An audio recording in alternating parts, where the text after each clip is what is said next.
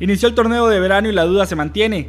Ante la ausencia de Dexter Lewis en la puerta generaleña, Darryl Parker y Brian Segura se disputan la portería del equipo. Pese a que Pérez Celedón aún no juega, ya tiene tres puntos debido al no pago del Santos de Guapiles con la caja costarricense de Seguro Social. En el cuerpo técnico reconocen que la ausencia de Dexter Lewis les incomoda por la forma en que se dio, pero tienen claro que ahora deben apostar a alguno de los dos jóvenes arqueros para cada duelo. Pese a que no tienen la experiencia de Dexter, Mauricio Wright indicó que confía en ambos.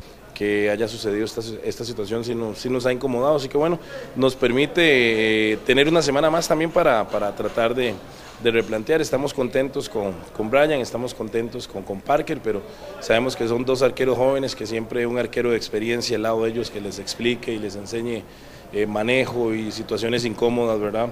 Eh, es importante en un plantel, así que bueno, eh, con ellos estamos muy bien, vamos a ver qué pasa en el transcurso de esta semana y este, tratar de que si alguno de los dos pueda debutar y hacerlo bien y que se quede con ese puesto, pues para nosotros sería maravilloso porque ya estaríamos más tranquilos en un departamento donde lo que te hace una cierta incertidumbre, ¿verdad? ¿Cómo van a responder? Es lo único que uno, que uno podría decir en este momento, pero bueno, para verdad es el tiempo y esperemos que cuando les toque atajar que lo hagan bien. Con respecto a Lewis, Wright es claro en decir que el arquero está fuera del equipo desde el momento en que decidió salir.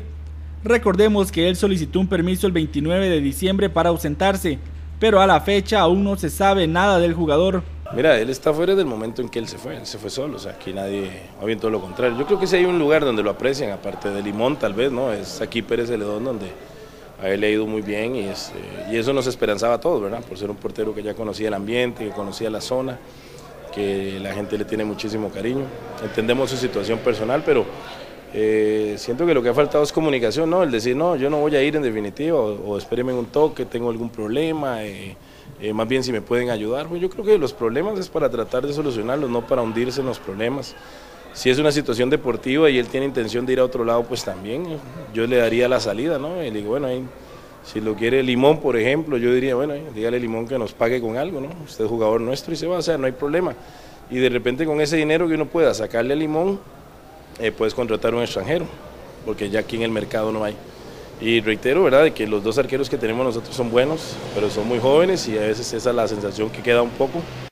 Uno que también comparte la tristeza que hay en el camerino por la desaparición del portero es el delantero Eric Scott, quien más que un compañero es un amigo de muchos años de Dexter con quien incluso compartió Camerino el torneo anterior con Limón. Pues sí, sí, lo de Dexter es un tema muy complicado, un tema difícil. Yo que lo conozco, conozco desde, muy, desde muy pequeños. Este, me sorprende, me sorprende eso que, que, está pasando con él, pero bueno, él, él tendrá sus razones, él tendrá sus, sus, por qué lo está haciendo. Este, lástima, lástima, porque es un gran portero, es un, un, un jugador que nos hubiera servido bastante a nosotros, pero bueno, no quiero entrar tanto en el tema, simple y sencillamente lástima, lástima lo, lo que está pasando y esperando en Dios que no sea nada, nada tan grave. El campeonato pasado, Brian Segura disputó los últimos duelos del Pérez Celedón como titular, mientras Darryl Parker tuvo un paso con presencia en varios juegos del Uruguay de Coronado.